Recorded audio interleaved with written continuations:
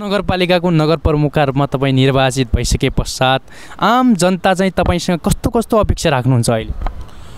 जब हामीले स्थानीय तहको निर्वाचन चाहिँ स्थानीय निकायको निर्वाचन सम्पन्न गऱ्यौँ र हामीले चुनाव जितेर आइसकेपछि विशेष गरेर दैलेख नारायण नगरपालिकाका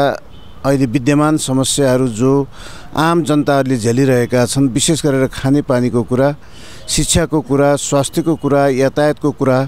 र यिनी कुराहरू र सडक बत्तीका कुराहरूलाई नै पहिलो चाहिँ एउटा जनताको अपेक्षा छ। र हामीले निर्वाचित भएर आइसकेपछि सबैभन्दा पहिलो काम हामीले जनताको बिचमा जानुभन्दा अगाडि पनि हामीले हाम्रो पार्टी नेकपा एमालेका तर्फबाट तयार गरिएको घोषणापत्र मा नै उल्लेख गरेर सर्वप्रथम त हामी जनताहरूलाई खानेपानी आपूर्तिको कामलाई पहिलो प्राथमिकता दिन्छौँ भनेर हामीले प्रतिबद्धता जनाएका थियौँ र हामीले जब चुनाव जितिसकेपछि पहिलो नगरसभाबाट नै मैले र नारायण नगरपालिकाको नगरसभाबाट नारायण नगरपालिका क्षेत्रभित्र रहेका आम जनसमुदायहरूलाई खानेपानीको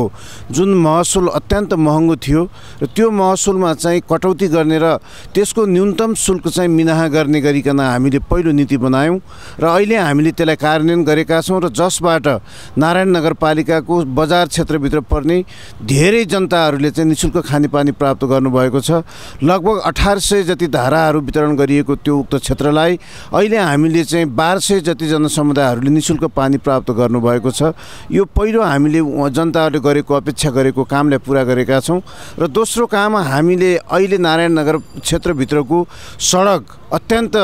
जीर्ण छ। त्यो सडकलाई नयाँ सडक निर्माण गर्ने त्यसका चाहिँ कलबडहरू बनाउने त्यसको नाला व्यवस्थापन गर्ने ढल नालाहरूको उचित प्रबन्ध गर्ने र त्यो सहरलाई चाहिँ अलिकति सुन्दर सहर निर्माण गर्ने योजना बनाएका छौँ र तत्सम्बन्धी हामीले तमाम अब डिपिआरहरू गरेर त्यसको चाहिँ योजना बनाएर अहिले टेन्डर चाहिँ निकालिसकेका छौँ। यसै आर्थिक वर्षबाट हामी दैलेख नारायण नगरपालिकाको नगर क्षेत्रलाई हामी पहिलो सुधार्ने चाहिँ पहिलो प्रयास गरिरहेका छौँ र त्यस त्यसपछि गएर फोहोर मैलाको व्यवस्थापनको कुरा त्यसपछि तेस्रो चुनौतीको रूपमा थियो।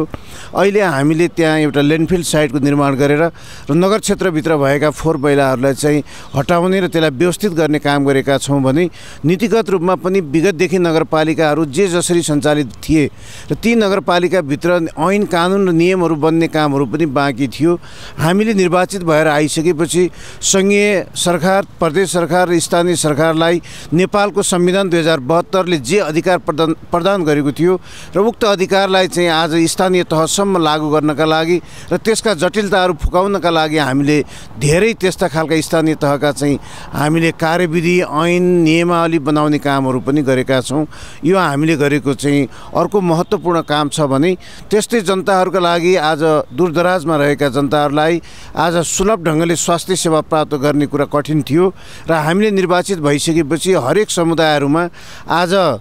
हरेक घर घरमा चाहिँ स्वास्थ्य कर्मीहरू पुर्याएर स्वास्थ्य परीक्षण गराउने र ज्येष्ठ नागरिकहरू वृद्धहरू अशक्तहरूलाई चाहिँ घरमै पुर्याएर हामीले आज सेवा दिने खालका कामहरू पनि गरेका छौँ।